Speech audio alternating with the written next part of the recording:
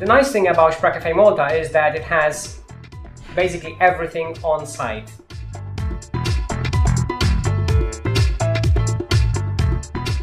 The complex includes classrooms, accommodation buildings with comfort and standard apartments and also studio apartments.